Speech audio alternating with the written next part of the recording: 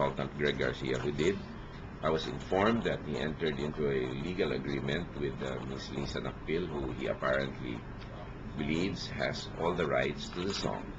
But then again, uh, the controversy has reached stages which probably, to me, are uh, overshadow the the song and the rest.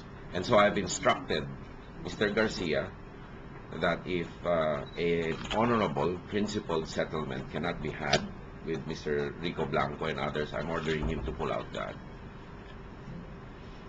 So, um, you're gonna pull out the, the ad? If we cannot get into an arrangement or a good uh, principled uh, settlement to settle the controversy once and for all, the controversy itself is not worth the ad.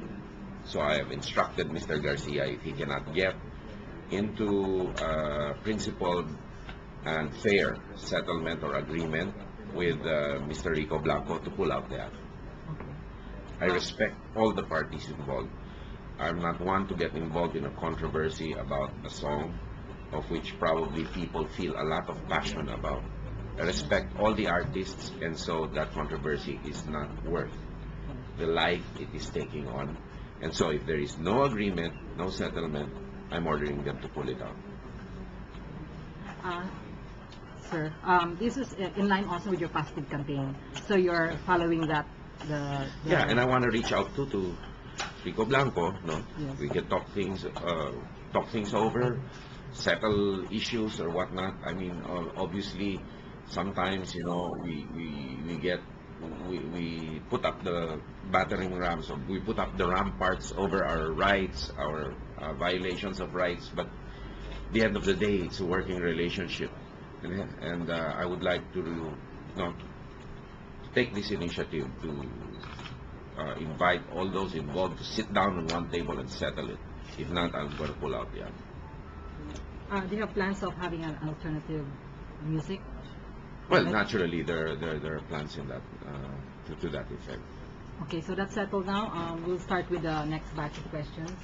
Uh, let's start with Junior. Yes. We haven't heard from you in a long time. Okay.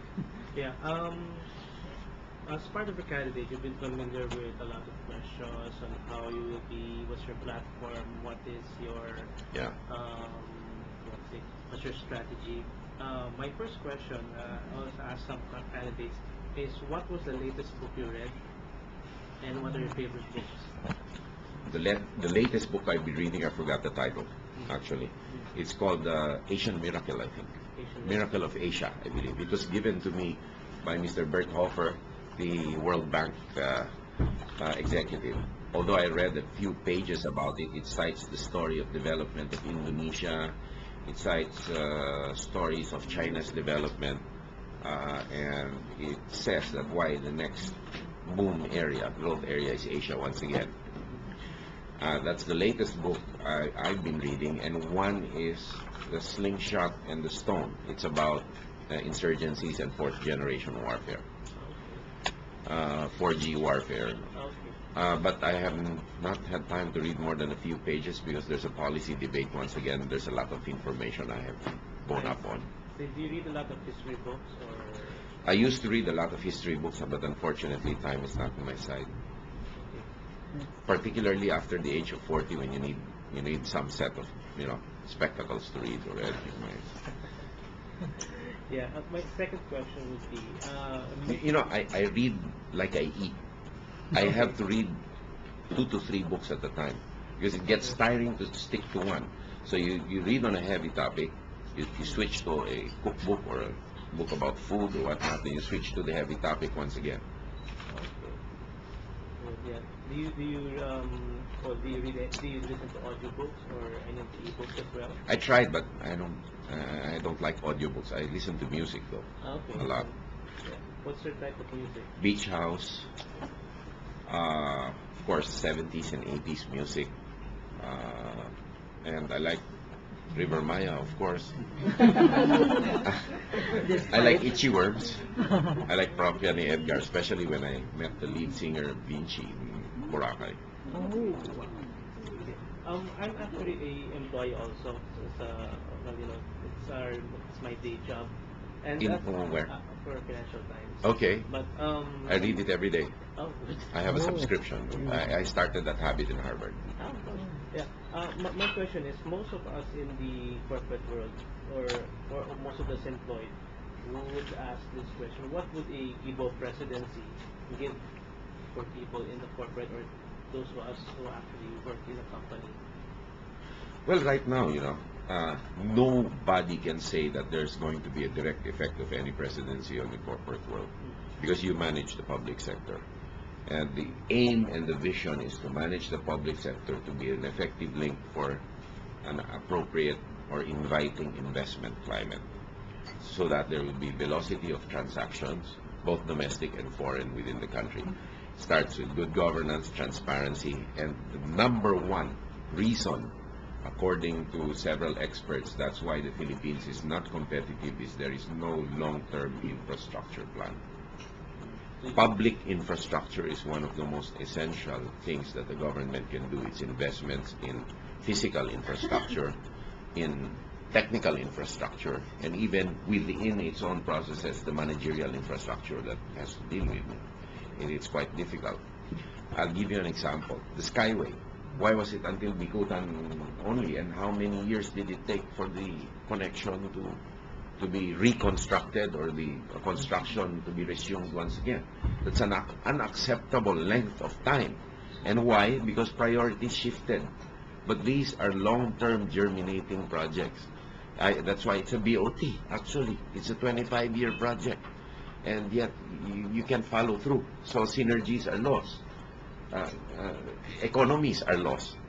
So the, the, that's one thing that we have to deal with. Secondly, it's peace and order. Not only peace, but order.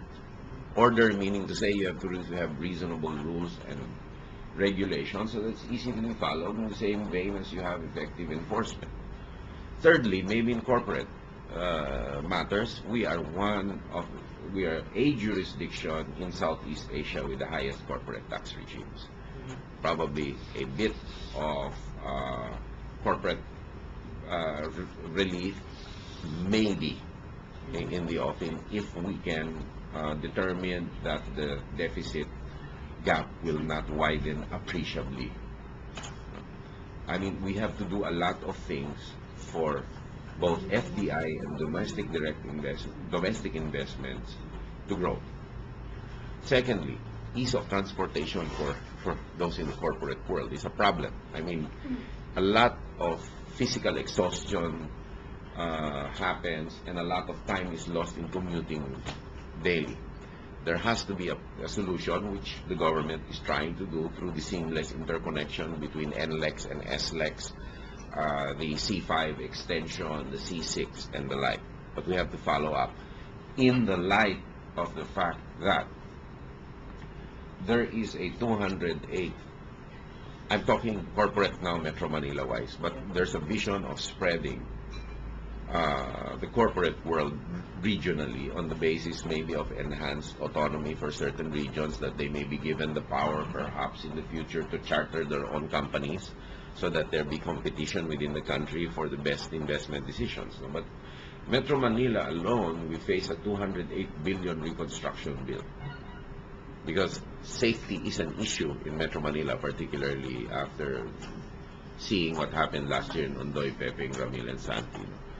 Uh, the safety of employees and executives is an issue because a lot of those victimized were middle level and top level executives. Even the founder of Smart, I think, uh, unfortunately passed away when his wall fell.